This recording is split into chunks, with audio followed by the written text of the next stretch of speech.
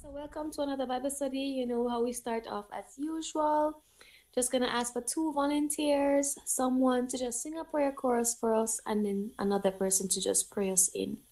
So, any volunteers?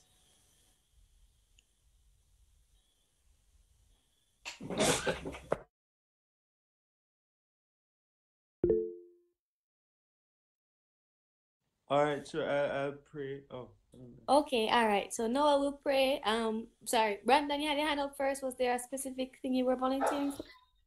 N- Nah, I'll do either of them. So since Noah's praying, I'll I'll do the prayer chorus. Okay, all right. Whenever you're ready. All right.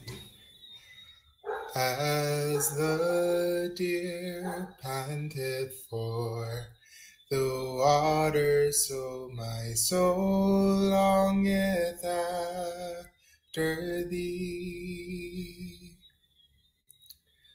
You alone are my heart's desire, and I long to worship thee. You alone are my strength, my shield. To you alone does my spirit yield. You alone are my heart's desire, and I long to worship thee. Amen. amen, amen. Let us pray. Father God in heaven, we're so grateful for who you are. We're so grateful that you've blessed us and brought us to see another Friday evening or another Saturday morning. Thank you for, you know, showing up and showing out in our lives, God. We all went through different circumstances, different um, painful experiences and happy experiences, but we're so grateful that you were there with us through it all. Father God, we ask that you forgive us of any sins that um, we might have at this time, God, and may our hearts be receptive to whatever will be taught today. We ask that you will be the supreme teacher and we won't speak from our own thoughts or own opinions, but we'll be led by your Holy Spirit as it comes into our different spaces at this time. Please touch and guide us again in a special way through Jesus Christ our Lord. Amen. Amen. Thanks, Brandon. Thanks, Noah. And welcome, Monique, who just came in. All right, guys. Thank you for having me. and you're okay? You're doing good? Yes, I'm doing okay. why why you change a while ago? Yes, I'm doing okay. Yeah, you know, because I mean, the enemy giving me a 10,000 reasons to not be, but I got 15,000 where I should be. So there's that. Amen. Amen. Thanks for coming. I'm glad to have you. All right, guys. So Thank you, Brenda. Amen. Wow. All right. Okay, guys. So welcome again. Um, so I think we all know, or maybe not everybody know, but this week what we'll be looking on is the topic, the hot topic of Christian dating and relationships. So, um, we sent a question. What do I call this? Like a a form in the group for persons to put in questions that would they would like to be addressed during for this topic, this specific topic. So I have some questions here, and I'm just going to um ask one question at a time. Just lay it out there, and anybody who wants to spark or start the discussion or have any questions following that, then we'll just do so. Okay. So yes. All right. So we have a couple questions here, and the first one I'm going to ask or start out with is a strong one. And the question the person asks, How do you date as a Christian? What exactly does that entail? All right. So, question out to you guys. Any of your thoughts? Any of your opinions? So, yes. How do you date as a Christian and what exactly does that entail? So, the floor is open to anyone.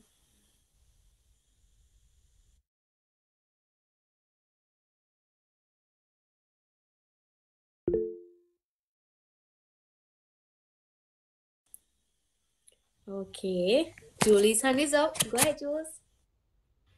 All right. Um, I'll start off this conversation and say by dating with intentionality.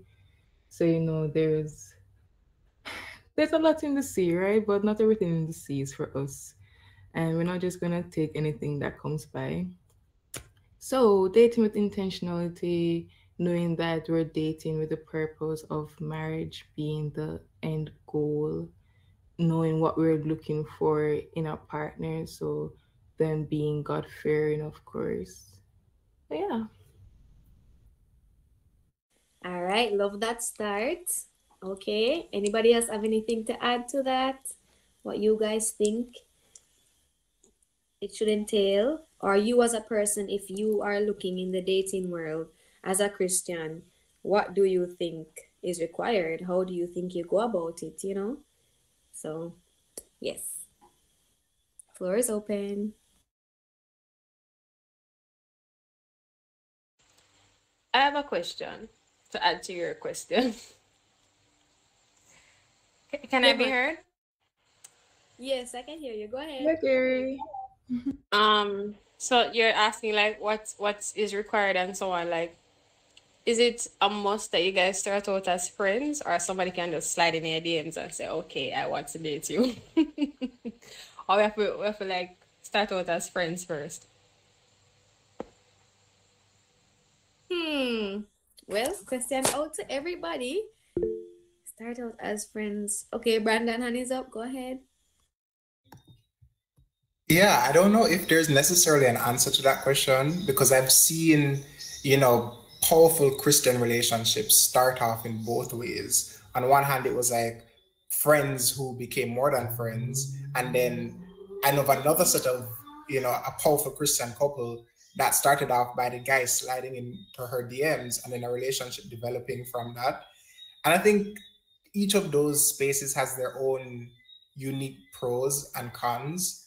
Um, and of course, each is dependent on the type of people and the way they approach relationships generally. So I don't necessarily think there's a a wrong or right way, but I can speak from my own experience. And for me, I find that the relationships that I've formed secondary to having friendships have been so much more fulfilling. And the reason why I say that is when you start off as friends, you get to see the good, the bad, and the ugly in a person. There's no pretentiousness to it. You're not trying to look good for somebody. You're not trying to, you know, dot your I's and cross your T's. So when you kind of start off as friends with somebody, you see their rawest, realest sense, and you can decide either to love or hate that.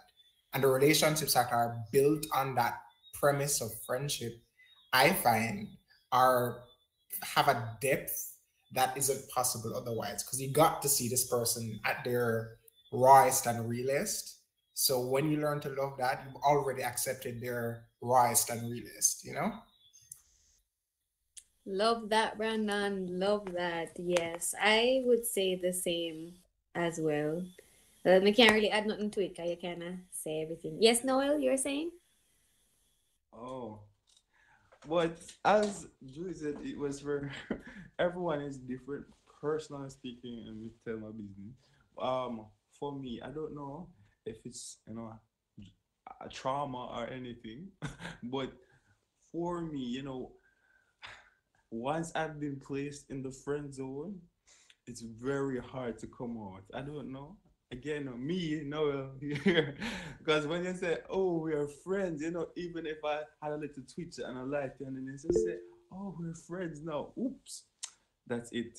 It's over. I don't know, but we scream. But I, I don't know. It's just so hard for me to to come out of that because I see you in a different light. I know, you know, friendship is so it's just a big thing for me. It's just as important as you know, uh um a friendship or, or that dating thing. I don't know if you guys get what I mean, but you know how I see my friends is just I don't know how to say it, you know. It's just so important. So I feel like if I'm planning to date someone, I have to it's not like going to be a stranger or someone I don't have intentions of being a friend with, but I still know that the end goal is something different. I hope that makes some sense. Yes, that makes perfect sense. And that same friend zone thing, it's like Yes, true. if you're put in the friend zone, now you don't really know if like should I just cut that off? Should I is it where I'm a friend but we consider pursuing each other or you know, so it leaves you in like a queried spot. So I kind of understand that. Um, Alexia, your hand is up. Oh, hi, good evening, guys. Yeah, so I wanted to uh, well ask and also add to what. Can you hear me? I'm sorry, I don't know if you're hearing me clearly. Yeah, we're hearing evening. you, Lexi. Okay. Um. Yeah. So, um, we know that especially in our culture today, um, there are a lot of other um sub sub headings to friendships these days, and I know in our especially in the Christian community, sometimes we find that you have to have a clear definition of what your friendship is because I found that a few people or you know might have different meanings for friendship, especially when it is opposite gendered friendships, or they say, oh, we're just friends, and you know, it's more than that. So for years or less than that, you've been having feelings for each other and you've never verbalized it. So one of the things that I believe that in order to allow friendships to thrive as well as relationships ongoing is to have um, boundaries. I think that's one of the most important things. Verbalize the the what what the I don't know what the confines of your friendship is first before you right. So if I am a plat- platonic friend with you, we're Christian friends, learning each other, brother and sister growing in Christ, define it so that when the time comes for either of you or either parties to you know branch off into a relationship then if it's just strictly a friendship you know it won't be messy or it won't bring about a lot of heartbreak and disappointment you know so i believe boundaries is very important as well as being more verbal to what this is or what it is because we are human beings and the only thing that separates us from the world is the mercies of God.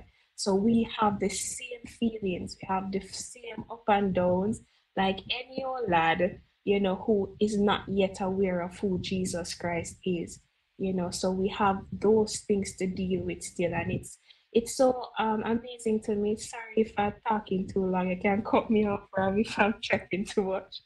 Um, you know, it's so amazing that God did not give us like a blueprint to dating. And one of the reasons why I think that is, is because He knows each of us are different individually. You know, each of us have, you know, we we we like this. See, and God, I believe that He's so beautiful in His creation that He made all of us different. And in every nook and cranny, we probably have that friend or have that person that you know we we mesh well with but you know there are stages to that meshing so i think that is one of the reasons why god did not give us a clear cut blueprint to this thing called dating and relationships.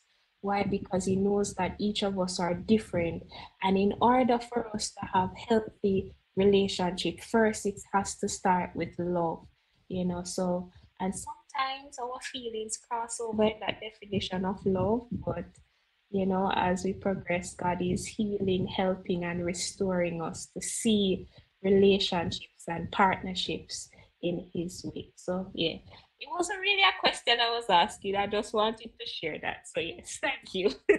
yeah. Amen. Thank you for sharing. Oh my gosh, I loved everything that you said. Thank you so much for sharing. And girl, you're free to talk however long you want. That's what this is for, so we can talk with each other.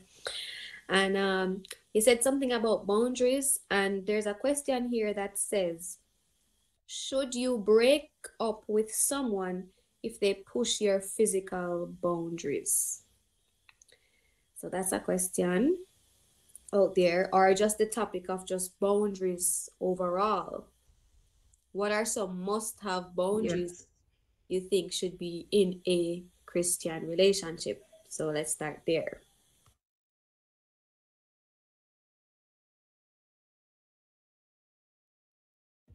My answer is yes. I was just going to say, Julie, you were talking, you're coming and drop the yes, and you just cut off. So, uh, Brandon, hand is up. Go ahead. I have like a yes question mark, and here's why I say that. I think the starting place for any relationship in which there's a challenge must first be conversation. Like there must be some kind of communication taking place that you're able to address that within the space of the relationship before you decide that, hey, I need to leave. However, if it's a case that despite communication and expressing clearly that those boundaries are exist and you are uncomfortable with those boundaries being pressed, then for the principles that you as an individual stand for, by God's grace, you have to decide that I will choose godly values over my feelings for this person and choose to to separate from that space. But as I said, that's after having communication with this person um, and seeing where that goes from there. Thanks, Brandon. Go ahead, Monique, and then Julie. But to, to be very honest, you know, I'm I I'm I'm a it, it depends person um when it comes on to physical boundaries because again as Brendan would have rightfully said there's conversation that would be held prior to.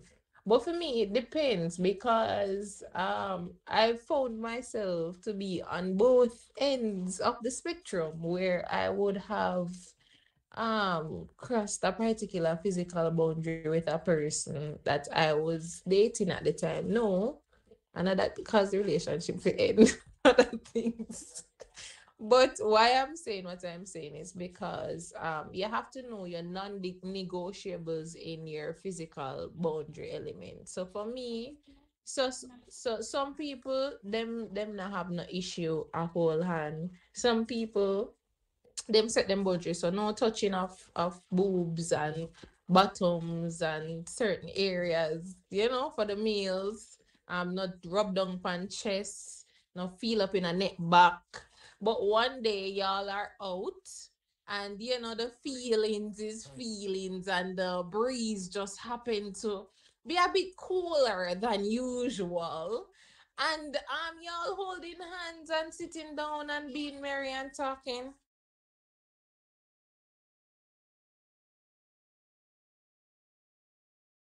Is not the breeze, I but come? May I finish one. Sorry about Sorry. that. Sorry about that.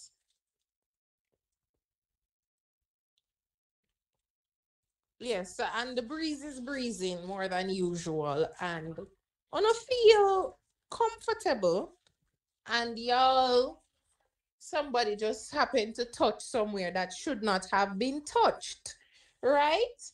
And um, it's in that moment you have a like recollection, like, oops, sorry, um, that shouldn't have happened. And what then? Do you end the relationship because of that? You can't because it's not like y'all did it intentionally. It's because you're a human being. You're gonna want physical touch or some type of attention, right? So um I wouldn't say for that reason, but if it's where um if it's something that may have been reoccurring then reoccurring and you both you know say XYZ, this is an issue for me. Do not do this. For example, um, you're in a relationship, the guy says he doesn't like when time you um you you touch him neck back or whatever the case may be, and you persistently are causing you just constantly are find your hand around him neck back and him tell us if stop it. Yeah, him have to put him hand down and foot down. I say, all right, clearly, and I have no respect for me, and I have no respect for my boundaries. So I have to go end this right here because you have no regard for me and what I am trying to help us to maintain our purity before God because we know what one touch can lead to. You understand? So again, for me, yeah, it depends. It depends in a sense. In in short.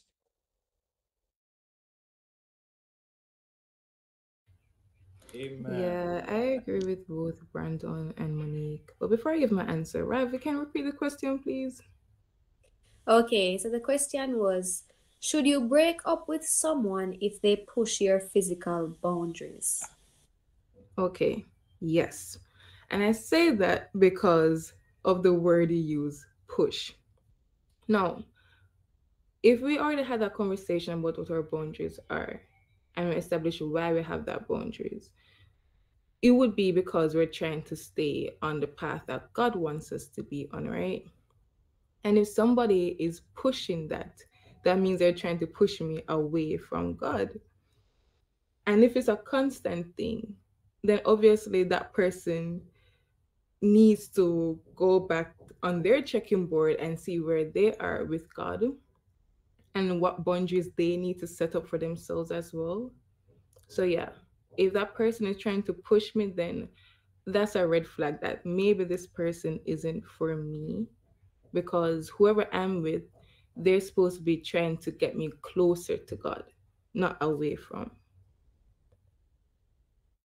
Amen. Right, right, right. Noel, hand is up.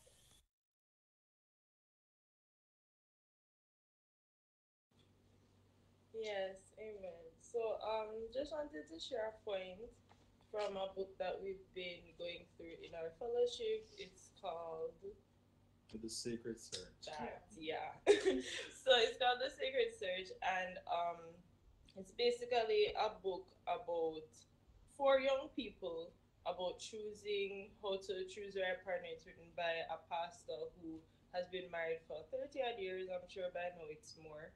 Um, and he's also a marriage counselor.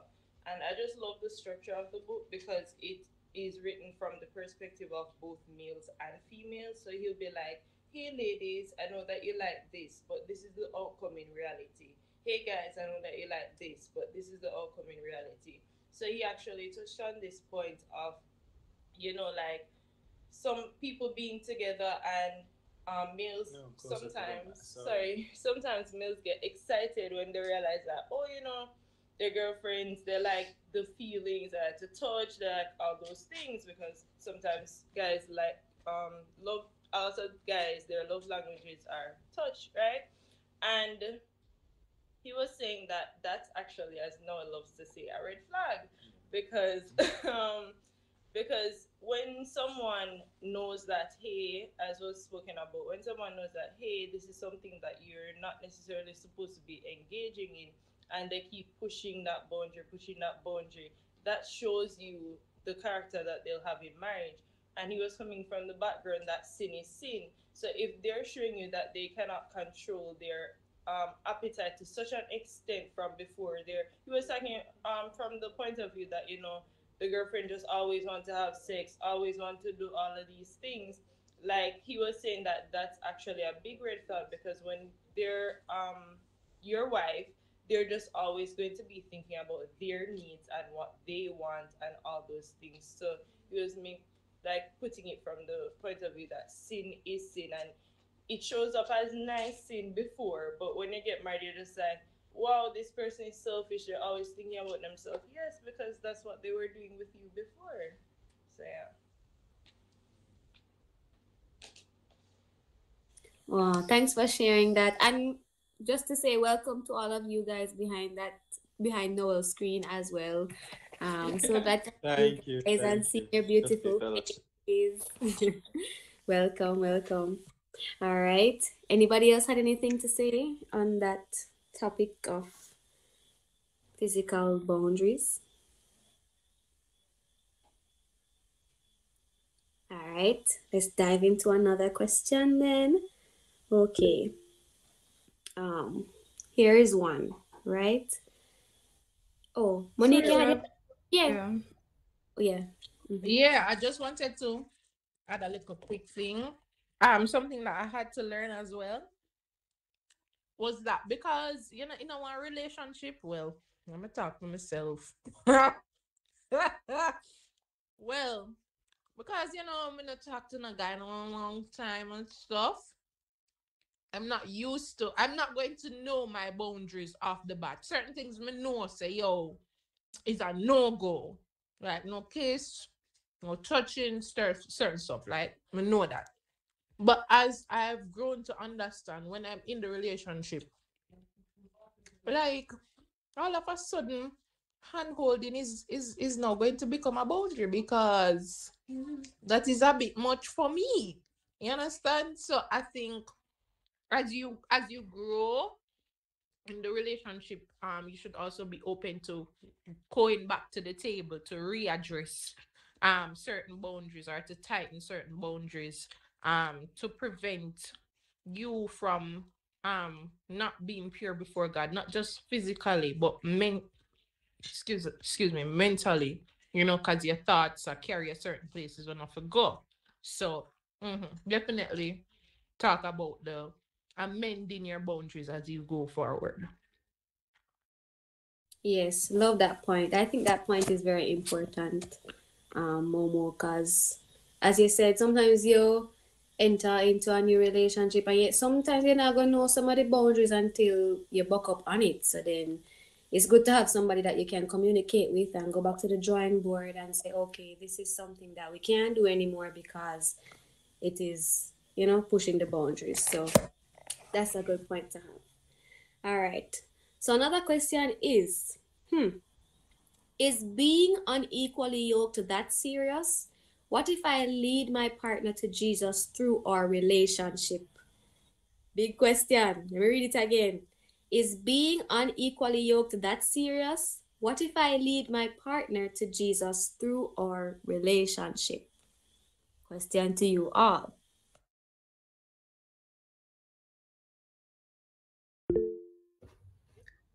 Sorry, answering the first part. Yes. Right, right, right.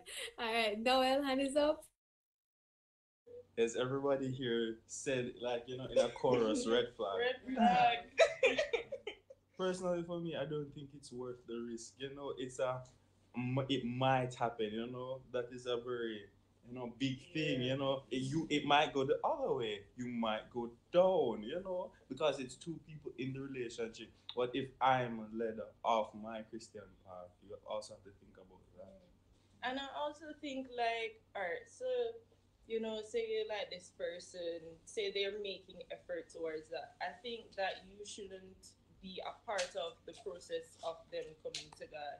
You should play your role as someone that's, you know, in their life, but you understand that hey, this person is on their spiritual journey. I cannot become too attached as said because they might draw me off my path. So you know, let's not necessarily go to the um boyfriend girlfriend stage yet can still talk I can still get to know the person because I can still get to know other people but at that point I feel like you should encourage that person to have a spiritual mentor someone that's their sex someone that's older than them and see where that leads them down that path spiritually because you getting attached into that that's only going to cause feelings and everything and you don't want them to like look back one day and say the only reason I joined this church was for you, you know, like I don't re- really know why I did this or I don't really feel like doing this anymore because our relationship isn't working out. So I don't feel like anyone's um spiritual spiritual journey should be linked or attached to a part. Love that. Love that. Love all the points. Wow. Went straight into it. yes, Brandon, go ahead.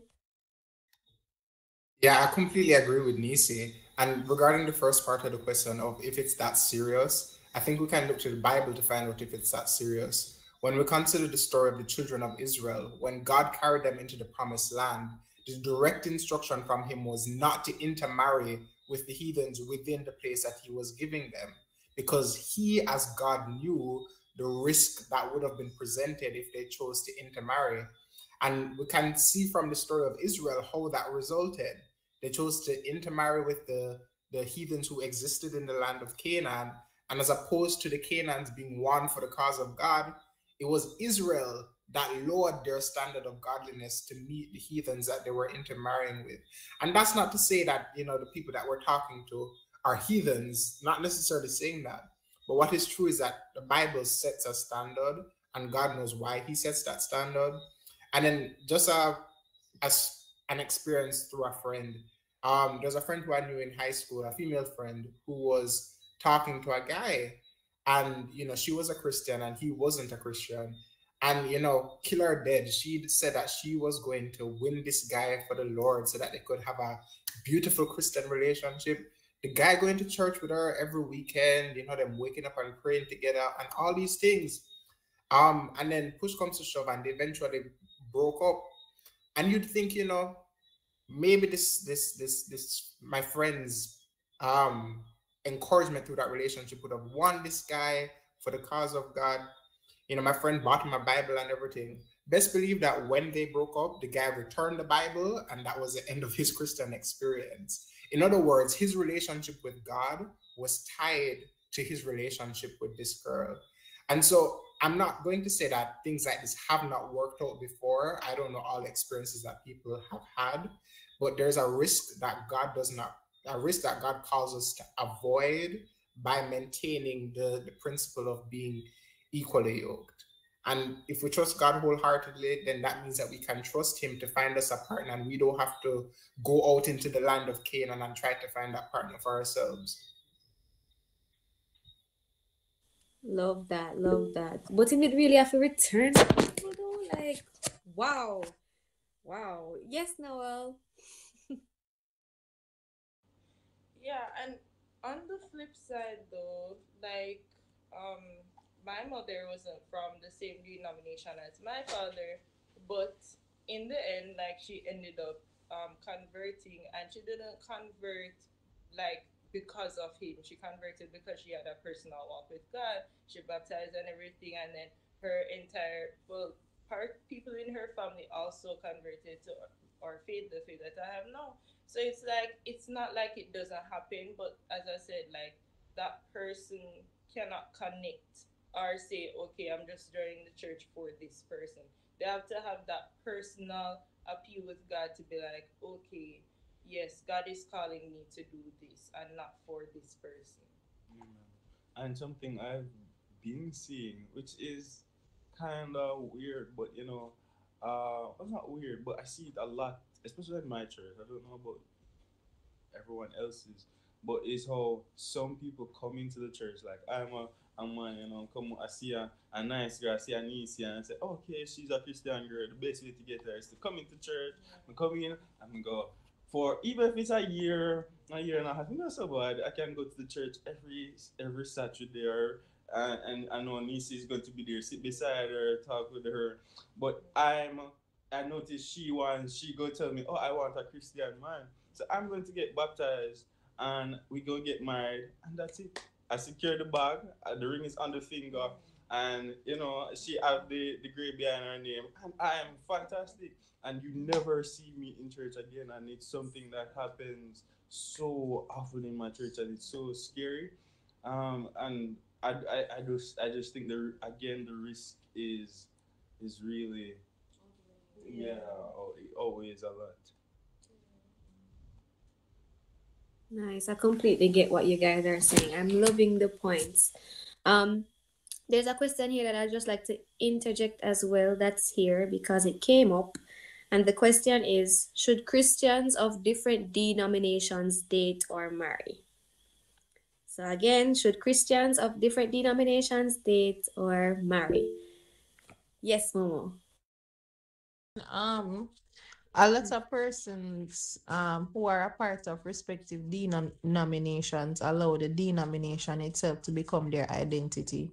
When you're talking about two persons who have no um, ascribe that particular denomination to be their identity and not the fact that they're a child of God, then you're going to have a conflict um, because there are certain things that they hold true to and um, is either they're going to now try to impose that quote unquote theology or belief on you, and you're gonna have like some type of ruffle or conflict. Versus when you have two Christians who are going to different churches, um, when they come together, their relationship can thrive. Where it is that the baseline is that we are going to find out what God truly says about this and not what our pastor is preaching or what the denomination is used to. For example, um, no shade to the Pentecostal people, none at all. right. But um Pentecostals um believe that if you don't speak in the the if in tongues you're not filled. Some Pentecostals believe that if you don't speak in tongues, you're not filled. While you have other um a Methodist per se don't believe in um you speaking in tongues. Is it that the two of these people being in a relationship cannot work? No, I wouldn't say that. If it is that both parties are willing to come to an understanding to under to study what does the scripture say about this and ask God to give them insight together to learn about him themselves, you know, like bring it to him because you still have people in the same denomination. We're conflicted same way. So it's not to say that they can't date each other. I just said that they, they have to be willing to learn about God together, to renew their minds from what they would have been taught in some type of way. So that's my two cents in that regard. Thanks, Momo. Thanks for that. I love your two cents. I'm gonna hear what um, Noel has to say. I keep referring to it as Noel because that's the name on the thing, but I don't know what to call you Yeah, guys. that's, oh, it's oh, it's the healthy first, but it's fine. Um, Okay. Bethany raised her hand before me, so she can go. Oh, all right. Um, so for a brief, okay. So remember at the beginning of the discussion, we said that for Christians, we're dating to with the intention of marriage, right? So I'm just giving like a real life experience, right? Um, I, you know, you you're going, you you're dating around and stuff like that, and I decided to date a um Seventh Day Adventist person. I'm a Sunday worship worshiper person, right? I'm a Anglican to be more specific.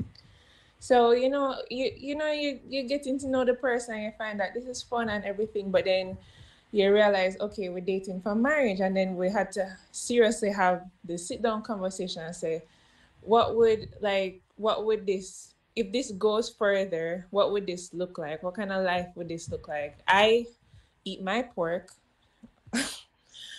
I'm not gonna give that up for him and all of that. Not up for him or what.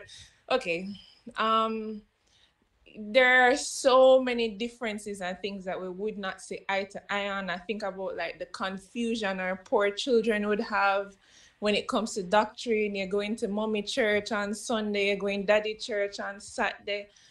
The the confusion of it all made us realize, okay, this probably can't work um in the long run.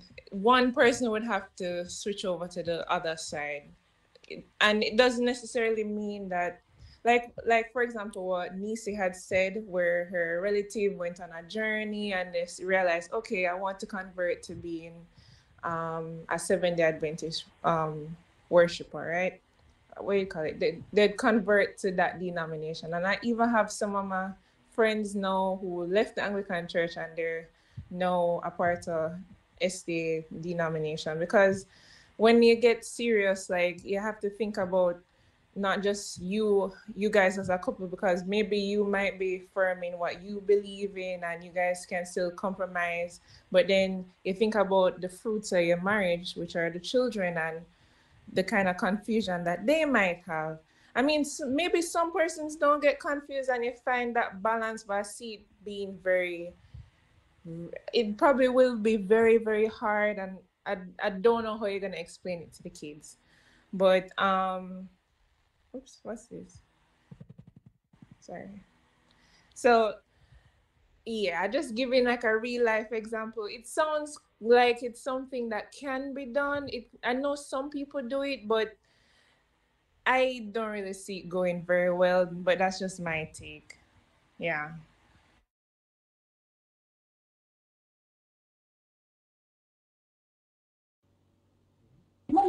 I completely, I completely agree, and well, I agree to an extent. But I understand um where the the complications would actually arise because, as I said, people are hung up on the denomination itself. Like they don't want to let go of, oh, I've formed myself here, and this is what I believe. This is who I am. I'm a Pentecostal. I'm a Seventh Day Adventist. I am that. And when it is that they meet another brother or sister in Christ, they they don't know how to um put that aside and actually address the fact that okay, we're Christians. Let's let's start with the baseline there.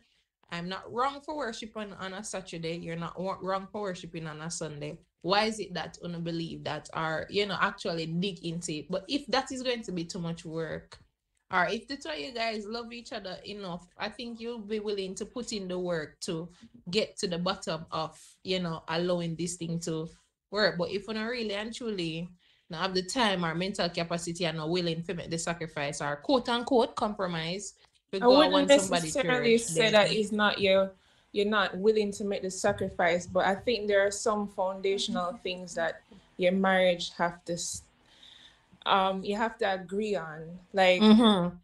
um okay. Remember how I mentioned the children you know, is mainly the children because you as an individual you can say okay you do you you do you like I respect your decision with um being a vegetarian or whatever it's okay as adults but when you get children involved and what you're Mhm. gonna explain to them and all of that it it, it But but that's why it should have been resolved. i've met actual i've met some children from that kind of union and they're very they grow up very very confused because No, it's that's two why you would resolve completely that before different children come in the picture. it, it's easier said than done but i've seen it and i've not seen an example where it actually work out it depends if it's like a pentecostal and an anglican you guys agree on most things apart from probably just speaking in tongues but when it's a whole different 365 i mean the, we agree on some foundational things but it's I, I just can't say the SD and the Sunday worshiper, but um maybe if both on agree on the Sunday, like I don't know. It's just very different. Our doctrine's just very different and I don't really see. I've never seen it work out well. I'm so sorry. That's the hill I'm dying on, but that's that's it from me right now.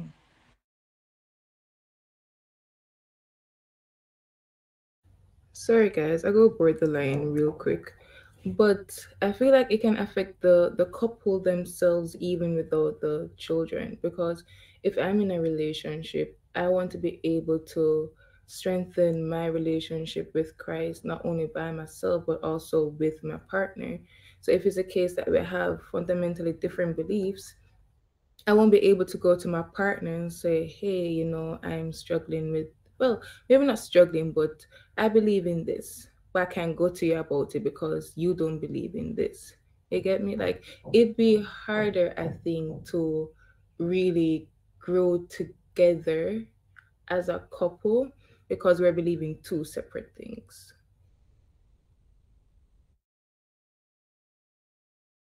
All right, Noel next, and then Brandon. Hi, so my point was basically shared amongst everybody, but I just want to say it still. Can you hear me? Yeah, we can hear you. Closer to the mic. Is that possible? Basically, having your partner respect your beliefs versus share your beliefs, that's just totally different. Having your partner say, you know what, I respect you, you do you, versus them saying, you know what, come, it's Friday night, it's time for worship, and you know, the husband is the head of the household, he would lead the Friday night devotion. That is what you want for yourself. But instead, you're with this person and he prefers to do his laundry on Friday nights while you're there with the kids having Friday night vespers and there's no husband to lead the devotion. How would you feel about that over the years? It's tearing away, it's eating you out, and what you actually want for your family, which is based, biblically based, because the husband is the head of the household. He's not there. How are you going to feel after a while? And there's another point I wanted to make that I noticed in real life this couple who is unequally yoked. So they're always traveling to church. He usually drops her at church and he would have the radio on, playing all different kinds of music that's obviously not Christian based, that's not Sabbath friendly. Um, sometimes she would tell him to turn it down or to turn it off, but you know, after a while, he just stopped turning it off and he just kept playing it. Um, so when she keeps on having to tell this person to turn it off, turn it off, he's gonna feel as if she's trying to control him or she's trying to change who he is, or you know, you're trying to tell me when I should listen to music versus when I shouldn't listen to music. This is my life, and you're trying to push your beliefs on me. So there is a lot that comes into play. Another point, you spoke about the children. Which church would the children be members of? Will it be the Sabbath church or the Sunday church? Who makes that decision? How how does even how does someone even come to that conclusion? I don't know. But your partner wants to cook his pork and his shrimp. He's a chef and he loves cooking stew, whatever, stew pork and stew everything. And you, who are you to tell him that he shouldn't cook in the kitchen? And in the same pot Exactly. that you eat your chicken. This is his house, and you're telling him that he can't use his chicken, use his kitchen to cook pork and whatever. He or her. so yes, that's my point. I just wanted to share, guys, to really read the book because it talks about these things and it even goes into like how important to the mindset of roles are and like that's also something that needs to be discussed. I feel like it's often overlooked, like how someone grew up, like you know, whether someone grew up as their father always being a carpenter in the home, so they go with someone and they automatically think, hey, you're a, you're a guy, how you don't know how to fix this? Or hey, he grew up um, seeing his mother always in the kitchen, his father doesn't cook and all those things. Like, no, I'm just saying, like some people's household. Oh, sorry, sorry, sorry. But I'm just saying, like, um, those things like are important. So I'm not sure if somebody asked that question, but all these things, like, it sounds very minute, but it matters. Yeah, It matters. And yeah. for me, my my def it's all about definition as well. The definition of stop it, Rihanna. So uh, the definition of, but we will address that eventually. After this, we will we solve the question. Um, but addressing this question, um, the definition of um unequally yoked, I feel like you know it, it would come into play as well because even though we do believe in God, He is God, isn't it still, you know, a difference in our beliefs and, you know, um, the things we do? Everybody Yes, just everybody's, everybody's glad. Uh, But yeah, the definition of unequal I believe if we believe different things, it would be some unequalness in the definition, you know? So yes. Now what's this thing? Uh, Thanks, guys. Right, I'm gonna make Brandon and Monique talk, and then we can address the question in the chat if anybody can. Um, I don't know if it was Brandon first or Momo first. That okay? Go ahead, Brandon. Yeah. Yeah, y'all are about to go on a crazy tangent, but that's hilarious. Um, what I wanted to comment on is a very important point that Monique raised, and I think it's a conversation that we need to discuss outside of the context of relationships. I've realized that within Christian spaces, people are unwilling to challenge what they believe. That simply because you've inherited doctrine, that must be the way it is, and you're unwilling to compare that with what Word of God says, or simply willing to have conversations with people who hold different perspectives. And that's so dangerous but then it also does a disservice to yourself because God forbid I was raised in a family, a Christian family, who taught me something that is not biblical. And I said that because I raised this way, because I'm born in this house, I will forever hold on to that truth. That's dangerous.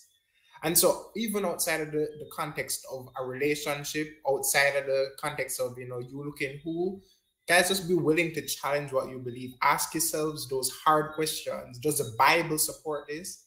And talk to people of different persuasions. Julie will tell you we're forever talking about you know the differences in perspectives that we have and how the word of God matches up to that. And frankly, if we're unwilling for the Holy Spirit to use somebody to speak to us, then we're in a very dangerous space. So I pray that by God's grace, outside of the whole relationship talk, that we say, God, what does your word say? And help me to be willing to accept that despite what I believe. Yeah, just to, just to get Brandon said it perfectly, right? But I just wanted to reiterate the point of me saying this. I said that we, the persons, the couple, are the persons who are pursuing a relationship would have to have a mutual agreement from the jump to say, listen, independent of our denomination, are you willing to pursue Christ together, to know Him independent of our denomination, to know what the word says about the theology that we claim to say we believe and we attach ourselves to? We have to divorce the idea that we are our denominations when we are not. We are children of God, full stop point blank there is nothing that comes after that too much times and that is the problem of denomination in and of itself. There's causing be a divide. We are all a part of one body. The older we so we worship jesus we believe in the father son and the holy spirit. Now when you go on different church and one church will tell us something else. That's unbiblical that's something where you actually need for addressing the word that that is nowhere near that now go help you saying that oh um let me stick to this church. When the other person try to let's say listen this is what the word says. I know this for myself. This is why xyz so I, as a, again before you're reaching at the space where you're married to this person and have different um you are got different church from the other church now say it not go work you know. But me not believing in that. The, everybody everybody in the house go one church. All of the people them go one church. Me not depend the bag of confusion. None of that. God not deal with that. Right? Amos in I'm word say, can two walk together unless they agree? So me and my husband, I got on the same page. So if my husband is a Pentecostal and me is a non-denominational person, or me is a Seventh-day Adventist, this is something where me actually before me and my husband are relation, um, whatever, we have to have that conversation prior to say, listen, I know say he's a Pentecostal, me is a Seventh-day Adventist. Um, what do you think? How can we navigate this? Should we you should you be genuinely serious about pursuing me? Are you open to unpacking all these ideologies and learning God together? What day are we going to decide on? For me, I would say to him, say, listen, the only reason why I'm worship on um Saturday or I don't worship on Saturdays because it's convenient or it's not convenient, whatever the case may be. And we work based on that. Like it's a conversation you have pre-marriage, not post-marriage. So yeah, and eventually some type of compromise has to happen because that's how relationships, friendships thrive. Anyway, you take it, you have to make a compromise. And if you don't, you just rob yourself of a gift of a person. Whether it be it could have be a husband, it could have be a friend, it could have be a destiny helper, you don't know. But a lot of us we cause certain blockages to our lives because we're unwilling to be open and understand from other people's perspective. And you know, yeah, that's just just my two cents. It's pre-marriage conversation, not post. Thanks, Momo. Thanks, Brandon. All right, Vicky, you can go ahead now.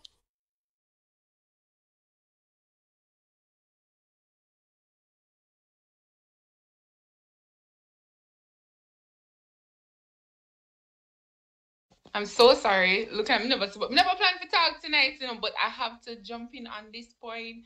I do agree wholeheartedly with what um Brandon said. Like, I think we have to like for let me just put it out there, would have married Brandon any day, even though we go to two different churches, because I find him so disciplined, so godly, so everything. You understand? Because like you know, it's just he has really been like a big part of my personal Christian journey. Brandon itself, this group has been amazing, but I learned so much from Brandon. You understand? But I think one thing that we're forgetting here is submit it to God. You know what I mean? Like the first thing we have to do is submit it to God, right?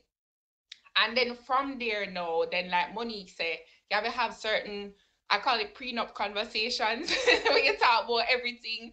And a part of and a part of that prenup conversation, you understand you gotta talk about how the kids are being raised and etc. The next thing, um, when you submit it to God, the second thing is that respect, right? Is that really, really godly respect. That whether or not you're Christian, like as partners, you have to respect each other, right?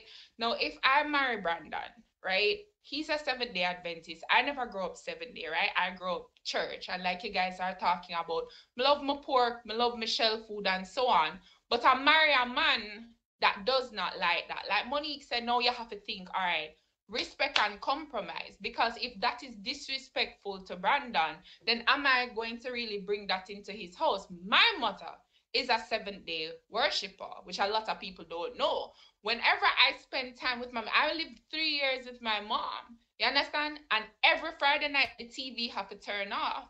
There's no pork, there's no shell food. You understand? There is just that mutual respect of whenever I'm around my mother, I do not do certain things because I understand that they worship differently from I do. And the Bible speaks about it when I think it was Paul. Is that a Paul or Peter that says you must not Paul, Paul, yeah man they must like disrespect how a man worship, you know, for show off a man and disrespect how they worship God.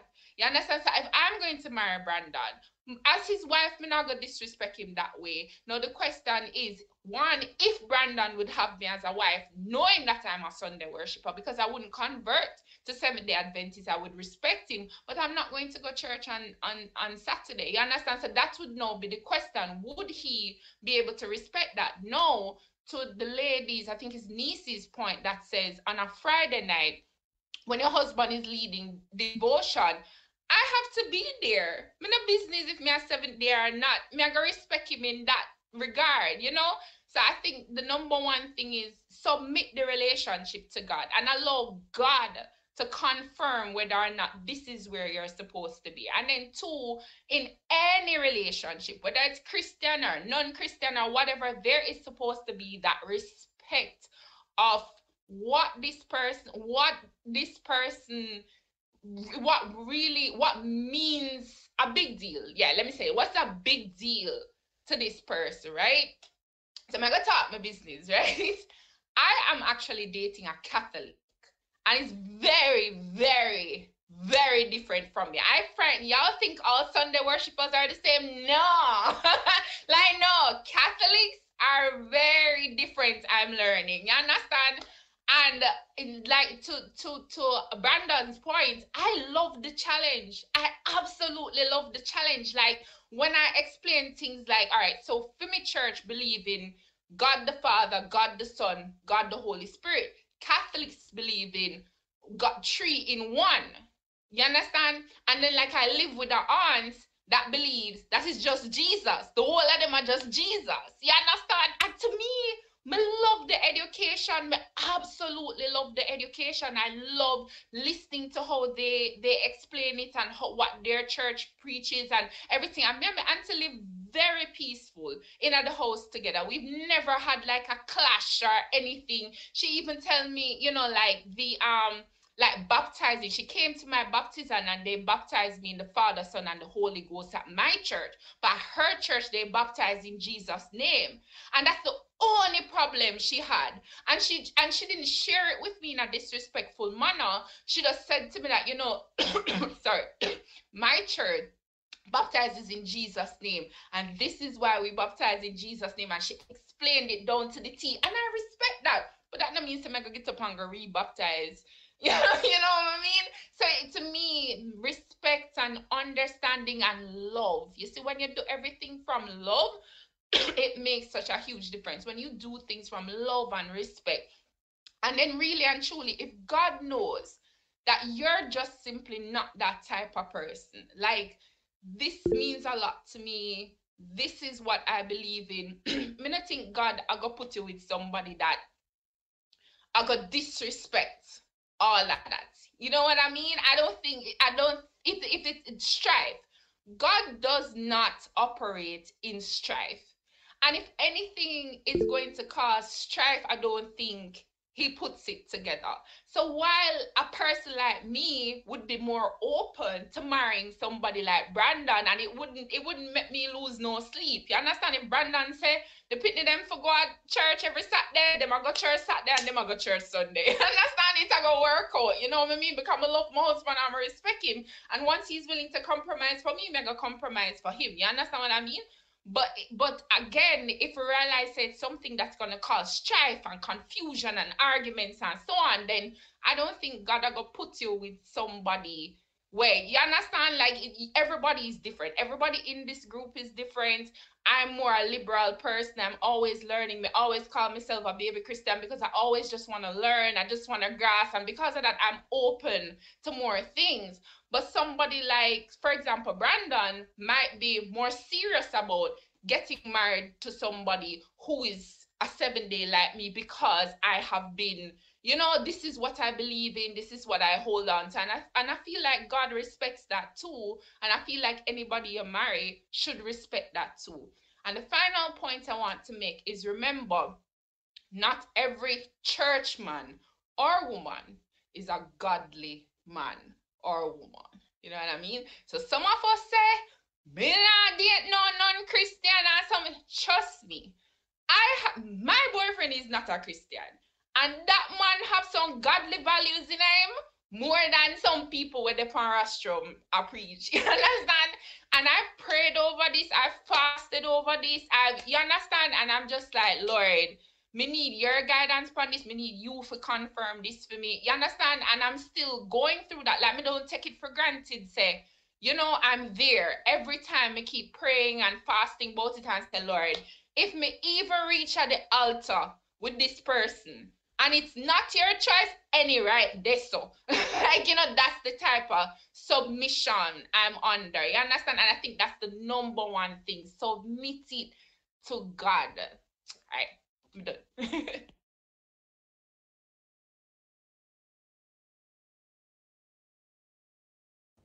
so Noel has a point to share, and then I'll share mine.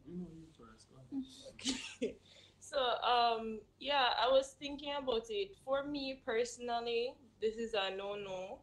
Um, not because I look down on any other denomination or anything like you know, I can have friends in the different denominations and we can go go along just fine. In fact, I have more like friends from other denominations than I do have Adventist friends. It's, since I came here, I really like met such wonderful people, and um, I've become friends with more Adventists. So I don't have any problem in terms of like you know navigating different conversations as Vicky was sharing and respecting other people's beliefs and stuff like that. However, I've always envisioned for myself and my marriage to, and I never want to be the person who I know, even within Adventism, that my husband going to say Falmouth SDA and I'm going to King's SDA. Like it's a no-no for me. Um, personally, I want to be sitting in the same church as my spouse and not only sitting, but like we share the same service when we come home, we talk about it like that's the type of energy that I'm on. Like I love to say, oh, remember what happened at church, and you know that's really what fills my spirit, knowing that hey, me and my partner, like we're worshiping God together, and the oneness. So that's that's what I also want my children to see because it's and right now it's not really something that's seen in a lot of the churches as Noah was sharing like the father um he marries and everything and then he stays home or he goes to another church or all these different things. So those things are very important to me and as Dani was sharing that family altar is so important. God calls men to be the priests of the household. Like he should be leading out those worship services. And yes as a woman you can lead out the worship too but like when a young boy sees his father like taking on that responsibility of come let's pray. You know let's talk about the bible together. What did you understand from what we just read? It really does something to him and causes him to understand his role in society knowing that hey this church thing is not just something that my mother does and i guess it's a woman thing. No like god calls both partners to like come to him and worship him and it's something beautiful so personally that's how i feel about it um so yeah yeah. I feel like you touched on it, Nancy, and, and Vicky touched on it as well. This is a short point of how, you know, it's more than even um, denomination because, again, we can be of the same denomination but still be so far apart.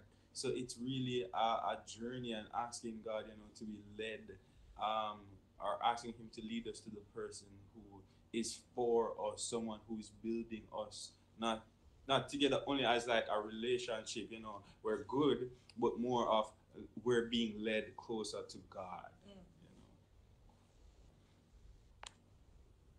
Amen, amen, amen. I love all these wonderful points. Love everything that we're talking about. So thank you guys for continuously sharing. I'm loving everything. I'm sure everybody is loving everything as well.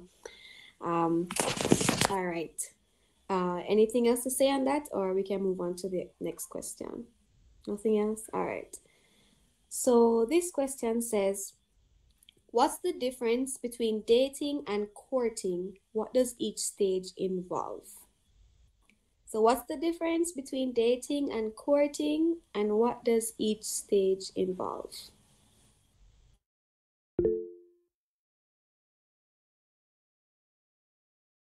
Go ahead, guys. Just a quick point, a quick difference. I would think dating dating would be getting to know people who fit the description of someone who you would potentially marry. And courting is exclusive. You focusing on one potentially fitting partner for marriage. Simple. Yeah. And I just want to share how, you know, Dani said that and how practically like that can be um, applied. So our church sisters who have now who are now in Jamaica, um, they had mentioned something and it really stuck with me that like the world just always makes it seem like, you know, you're going on a date, it's you dress up nice and you sit down at a fancy restaurant and you get to know the person like that. It doesn't necessarily have to look like that at first. Like you know, you like someone the initial phase. Maybe you know a friend of that friend, you can say to that person, Hey, let's all go out together because your aim is to get to know them not only in like a formal setting, like um, okay, this is me and they whatever they tell you about themselves, that's literally the only thing you have to know now. But if you're like in a friendship group with them and you know, maybe you go skating together, you realize, oh, you know, he maybe helped other people when they fall down. Like it's something that now you're seeing his character. It's not just what he's telling you about himself. So um, it really caused me to think about dating in a different light in terms of getting to know people and how that can look like um, and how that can actually help you to make better decisions rather than that person just telling you what they think of themselves. And also the book that I was telling you guys about, it also mentions something, some questions that you should ask people when you're dating or courting them, um, the different types of questions. So it's something that you should definitely um, check out. Zari has a question. Oh. Um so I'm sorry. Hello. so the question I have a question. Read that. When you're dating versus courting, um, when do you say you're boyfriend and girlfriend? When you're dating or courting? When you're dating to like you're moving. That's the transitional question. So that's yeah. Oh, One point. It's very important when you're dating not to let any of those potential persons feel as if they have a special romantic relationship with you. Because that's not really what dating is about. Yeah. And I'll share, yeah, um, I'll share something that you know. Once at church, we were having this conversation, and different, you know, elders, and so they were sharing their points. And I remember them saying, you know, dating is, you know, you, uh, I, as a boy, you know, I'd go out and see multiple individuals who I'm, who I see as probably suitable of sorts, and then you know, just approaching them as you know, friends of sorts. You know, as Nisi was saying, you know, we go skating or, or we go um, to a football game or a picnic or something. And then I say, oh, okay.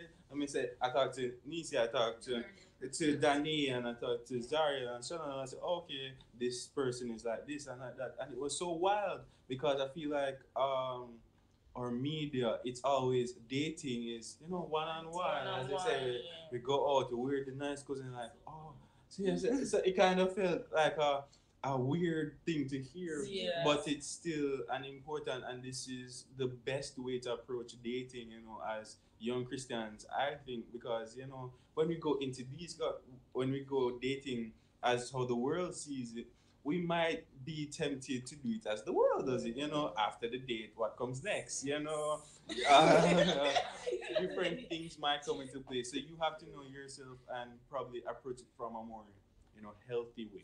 Yeah. That's what I say. Um, Julie wanted you to expound on your point. My point, which one? The first first one or dating versus The courting. dating versus courting. okay, dating. Sorry, I don't know if it's just me, but I can't really hear you, hon. Come closer. Yes, so you wanted me to expound. So, uh, dating. Dating should not have any romantic feelings. Honestly, I don't think it should. Because if you're talking to this guy and you're making him feel as if he's the only guy in your world, and then he finds out that you're talking to another guy in the same romantic way, how is that going to affect how he feels about you? He's going to feel some sort, sort of jealousy or something and betrayal. Uh, he's gonna feel used, and he's gonna be like, "Okay, you're with this like with everybody. How is this special in any way?"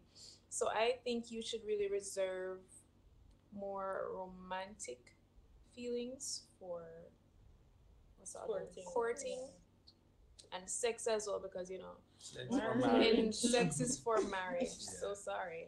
Wow. Um, yes. So, any questions, Julie? I go over to Brandon.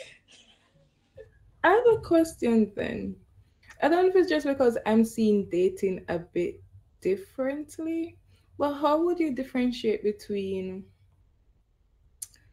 uh, let's say, hanging out with a friend and dating with the intention of, you know, knowing someone like that? Because I, I don't know if it's just because I'm full of feelings or what, but if I am dating someone and I'm getting to know them, then there's gonna be some sort of romantic feelings involved. Yeah. And it's going to definitely I- come before the friendship.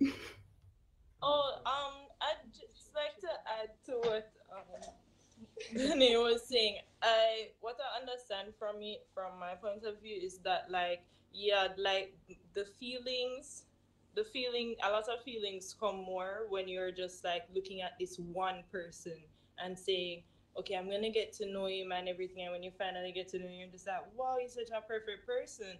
But when you're like, you know, as we said, dating, as in, you know, but when you're just like dating, you're getting to know m- multiple people. Like it's not just that one person. And another point that I, um, one of my other church sisters said was, sometimes we just date people that we say, oh, this is my type, or I'm attracted to this person. So you know, that's the type of person I want to get to know.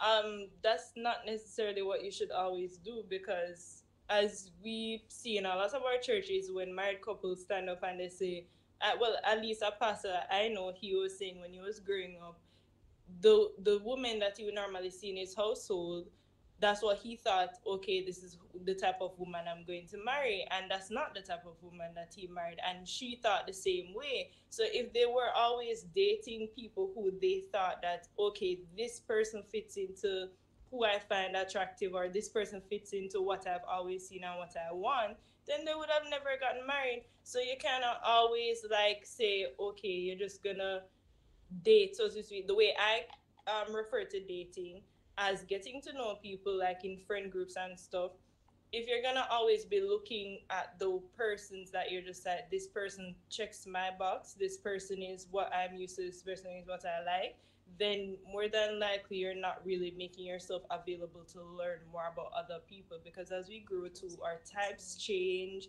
whoever we like changes and you're kind of like closing yourself off as Danny was saying to other people and other possibilities things um mindsets that you've never even experienced before. And I understand what the, Alexia was saying in terms of, um, she said, I disagree. Why date if you don't have feelings for a person? So you should date people you don't like. Feelings don't always equate sex, right? Feelings don't always equate sex. And um, in terms of in terms of dating people you don't like, I think the example that I used was like superior in terms of that. Like these people, you only know what you like based on what you've experienced. You don't know what you like outside of that. We didn't know what China would be like if we didn't come here. You get what I mean? Like we have an idea in our minds of what it can be, but when we came here was something totally different from what I even expected. I didn't even know people don't use cash here. Like that's crazy to me. But it's something outside of the periphery of what I have experienced prior to that. So I just want to try to make people remember that hey, you might think you like this now, but that's not necessarily what you like five years from now, two years from now, ten years from now. So try to get to know people on a wider basis. Oh, I have a question. So then, what if the person only wants to date you? They don't want that to. You're- Let them know you're dating other people. You're getting to know other people, Mm-hmm. and I think that's also something that should be spoken about. You let someone know that hey, I'm getting to know other people, so they don't take it as what Yeah. Danny was saying, like you know, in their feelings, feeling yourself, yes. used, Get to right? you. Get to know you too, right? All those things. And you said, uh, why date if you don't have feelings for a person? I'm saying like when you're dating that person, don't text them like you know heart emojis or you know don't get like attached in that way, saying like you know what we've been talking for two months now. I think you know just because we've been talking for two months, this is the path I should take. Mm-hmm. A lot of people like to attach history to their decisions. Just because we've been together for eight years, we should get married. That's not true. Mm-hmm. So try to reserve habits that are associated with being in a relationship out of dating. That's And- what I was saying. and this is something that you know i think well personally i am working on um because for me it's like oh what you mean i'm supposed to talk to a lot of people i'll probably mix up their names and everything because it's a lot to remember but um yeah like i feel like it's very important for us to get to know people outside of what we initially know as attractive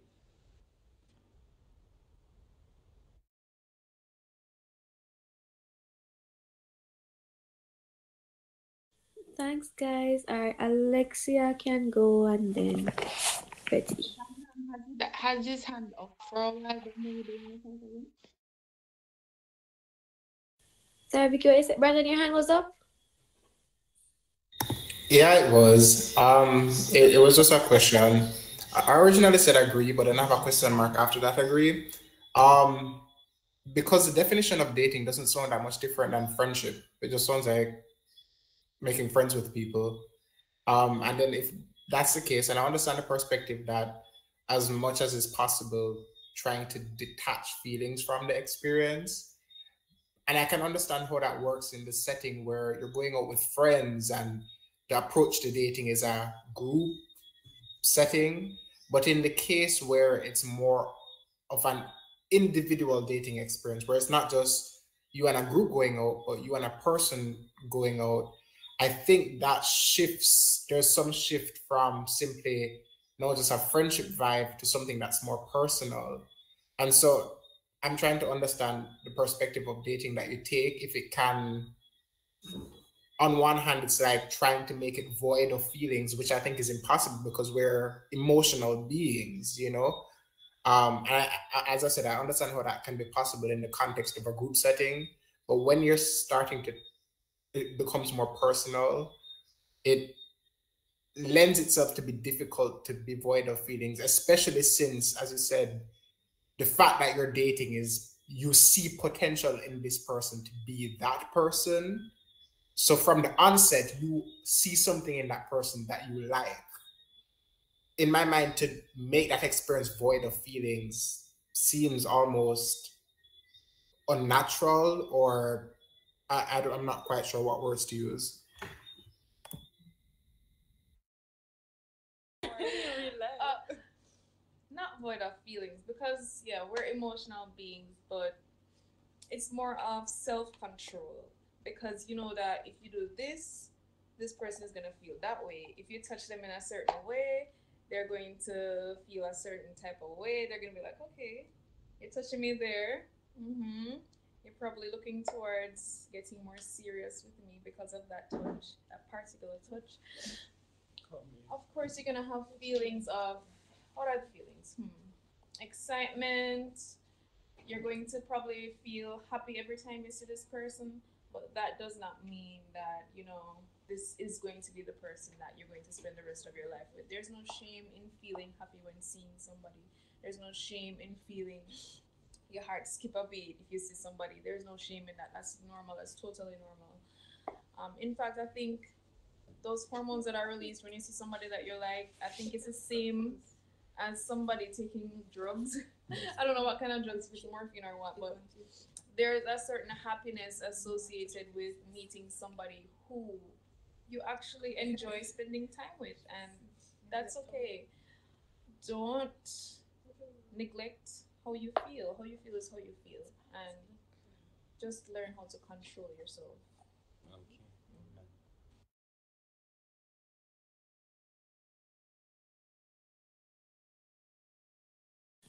Okay, thanks guys. Um uh, Alexia, your hand was up. Oh yeah, um, Brandon had shed some light on it as well, but I'm also I'd also like to add that um, self control is very important, as well as sometimes we even dig ourselves into deeper holes. You know, you can be serially dating for years of your life when God brought somebody for you that you are saying, Oh, I'm going to stop. I, won't have any feelings for this person because no, probably this is wrong, probably this is right. So, serial dating can lead to a lot of confusion in one man. You're one person. You know, each of us are going to have feelings for people. I don't think that God would give us this um this this ability to feel because we can love everybody you know it's important because that's what the lord says that we should love everybody. You know we should love all men. But then there are different heights and depths to when you want to have a relationship god's way. Relationships that you know clearly seen. And one of the most important things, are things i believe if you are going to go on that path of serial dating because it can make you be in stuck for years not figuring out who God brought for you, you know, is to fast and pray. So if you're talking to Tom, Dick, and Harry, and you say, Oh wow, I have feelings for Tom, Dick, and Harry, fast. And it's very important to fast and pray and say, God, I am confused. Maybe I am the one that did myself in this hole because you never lead me to go talk to Tom, Dick, and Harry. You know, I should have probably just cut off that feelings for Tom and then talk to Harry alone. And talking to somebody does not mean that you're going to be intimate with them. You can have feelings for persons. Feelings does not equate that you're going to go into sexual intimacy with somebody. That means that the control that you have been praying for. That's the Holy Spirit that will help you with being self-control that's you as well as you establishing boundaries so that you don't enter into spaces that will cause you to fall to sin then. You know but you having strong feelings for somebody it does not equate you having sex with them or leading to you all the time. Feelings are are, are good. You, know if you lock off your feelings you know it's not a death sentence if you have feelings for somebody or you know have feelings then so i believe one important thing that we should add to it if we're going to go on the path of dating um dating as oh um daniel i'm not sure if that's your name there but daniel had explained it is to um have fast fast and pray about it you know fast pray about it and don't serially date you know don't confuse yourself too much i believe. That's yeah danny sorry i messed up again that's it that's all i had Thanks, Alexia. And Betty, your hand was up as well. You had something to say? Oh, um, Brandon had addressed it, so it's fine. Oh, okay. All right. Any other thoughts on this question before we move on to the next one? No? All right. So the question is Would you recommend living together before marriage?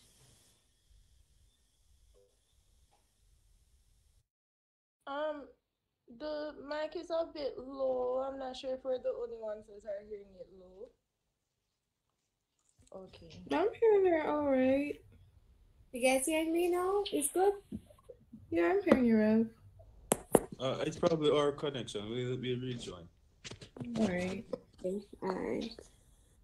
So, yes, guys, the question again Would you recommend living together before marriage? People answering in the chat yes, no.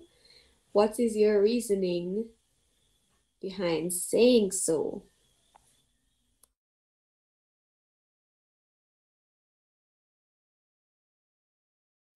So I said, Bree said yes. Bree, you want to expound?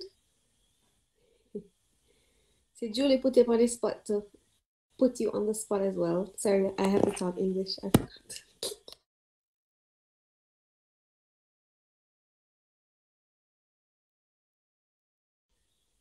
Bree shy. We did. Oh, so she come. Hello. Hi. Hi. Are you hearing me?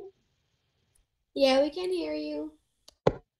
Okay. So for a yes because I want to know how you are within a closed area.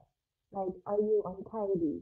Are you a dirty person? Are you going to help me with chores? Are you going to help me within the house? So for me, it will be a yes. It will be like, for me, it will be a make or break because I don't want a dirty person in my house. I want a- someone that's clean, that's, yeah. Thanks, Bree. I understand your reasoning. Thanks for sharing.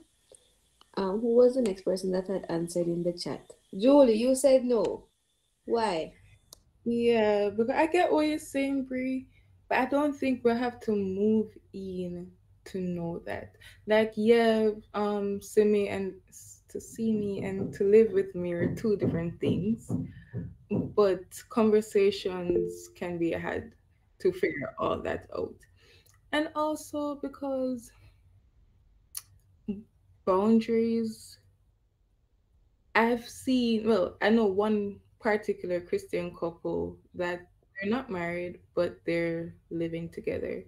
And I don't know how that worked for them, but personally, I don't think that could work for me just because I feel like I'd get too comfortable and it'd be harder to keep my boundaries up if I'm living with my partner.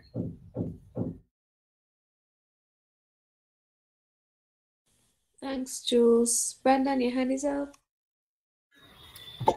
Yeah, um, I agree with Julie's perspectives, but then I another reason why I agree um, as to why me and my partner will not live together prior to us being married is because of not just respect for her, but also respect for her household.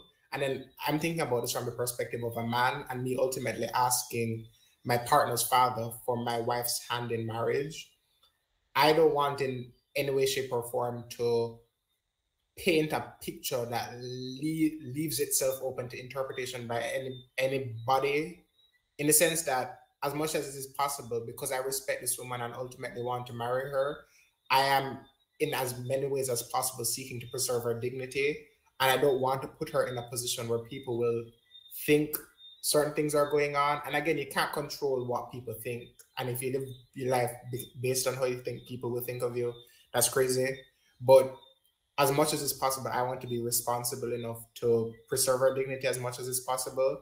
And to know that ultimately, when I go to her father for her hand in marriage, or whichever parent is present for her hand in marriage, I want to be able to responsibly do so. And for that family to know that I respected their daughter enough to that degree. I don't know if I'm I think about it in a very new, nuanced, unique way. So that's what kind of leads to my thought processes, in addition to the things that Julie would have mentioned earlier. Go ahead, Vicky.